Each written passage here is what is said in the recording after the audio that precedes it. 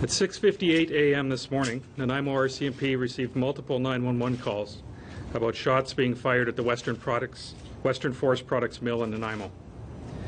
Multiple police officers immediately responded, including emergency response team members, with the first officer arriving three minutes after the 911 call came in. A lone male suspect was arrested without incident a few minutes later by an emergency response team member. Police officers also quickly worked to search the building for additional threats and injured victims. No other suspects were found. This kind of tragedy leaves emotional scars that last much longer than the physical wounds. So we wanted to get some understanding of how people might be able to cope in the aftermath of this event and others like it. Joining us from our downtown studio now, Counsellor Eleni Petropoulos. Hi, Eleni. Hi. And on Skype from Victoria, Counsellor Sarah Irons. thanks for joining us. Hi, Joe. Sarah, let's start with you. Uh, talk about the people who were there during the actual shooting. What might they experience in the coming days? Well, you know, one of the things that we know about trauma is that it really, um, the effects of it are can be quite individual. So obviously, there's some um, some things that we might expect to see, um, and it's going to depend on the individual and how they respond to it. Some of the things you might expect for those people to be experiencing are a big range of emotions, you know, anything from grief, horror, anger, shock. Um, any of those would be really understandable mm-hmm. in something like this. Yeah. Eleni, we know that four men were shot, two died, two have survived and are in hospital, and are, are we're hoping they'll both survive.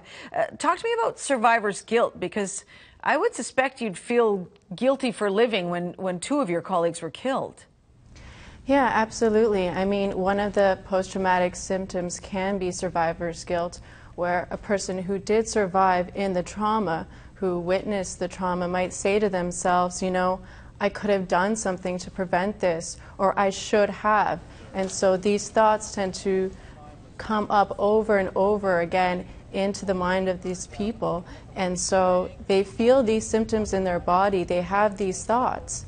And then if they do have post traumatic stress disorder, they might even feel guilty about, you know, surviving it, saying, you know, I should have moved on from this now. I know it's a tragic event, but some people experience something even more tragic. Some people don't make it. And so I need to pass through this and I can't. Mm-hmm. So those how, are all components of the survivor's guilt. Yeah, how do you treat that? What do you say to them? You can treat that with trauma therapy. There's one specific one known as EMDR, which is eye movement desensitization and reprocessing. And it is a highly effective treatment for people who suffer from PTSD or traumatic events the success rate is about 85%. And what it does is connect the negative beliefs, the thoughts, the charge that occurs during the trauma, and the emotion, connects those pieces and clears it out, clears out the trauma. So that sense of responsibility or that feeling of powerlessness that occurs during the trauma tends to subside. Mm-hmm. Sarah, is it possible that some people won't need any counseling at all? They won't even really need to talk about this? You know, that's a good question. And I think the answer is yeah, it's possible. You know, one of the things that we know about trauma from research is that um, people who have, you know, who are unlucky in their early lives and had experienced a lot of trauma as children, they are more susceptible to experiencing trauma as adults. And people who had you know, easier childhoods um, cope be better, essentially. Yeah. yeah. And so, you know, it may be that for some people who were present this morning, just some space and some time and the opportunity to talk about talk about it with friends or family members or spouses or whatever some time to grieve and kind of let that move through might be sufficient and it, and it could easily be as well that for other people um, that's not you know it's not that simple and you know, in those cases, I would recommend seeking out a trauma therapist to right. kind of help. Right. And uh, Eleni, it makes me wonder if, uh, you know, one of our guests earlier, Paul Doroshenko, suggested this is going to impact all of BC. Is it possible there are people uh, in Prince George who tomorrow are going to be afraid to go to work? Um, I, I could see it impacting people, yes. There's sort of that awareness that comes about that could you know, start at feelings of fear or anxiety that could develop.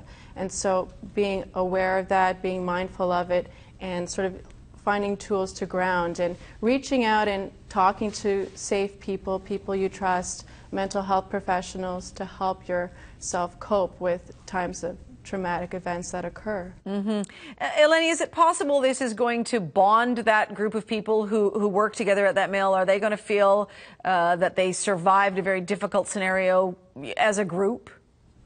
Absolutely, that's been known to happen. When something traumatic does occur, it's something so emotionally charged that it can pull people together. Uh, an event like this is something that stays in people's memories because it's so grandiose. And so it can pull people together, and you know, in some ways that's great because it offers that support needed too to get through this time of difficulty. Uh, Sarah, what would you say to people tonight who, who are working at, who worked at that mill and are saying, I absolutely cannot go back to work there?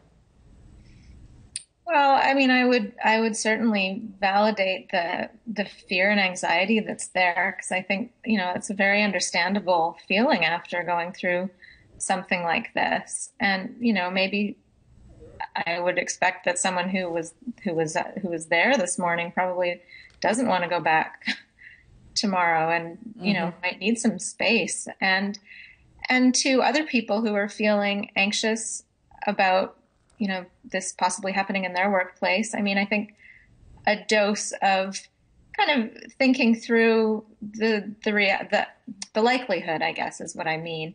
Um, you know this isn't a common occurrence and it's and it's good to remember that. And it's also i think part of what makes something like this so shocking is the reminder that these kinds of things can happen and we're, we're you know we're never immune No, we, we aren't. And then, of course, if you watch the coverage all day on the newscast, uh, the news channel, it, it becomes part of, you know, what's on your brain and what you're thinking. And if you fall asleep, yeah, worried about it tonight, uh, uh, that's part of the problem. Ladies, I want to thank you both for joining us. Sarah Irons in Victoria and Eleni Petropoulos from downtown Vancouver. Thank you.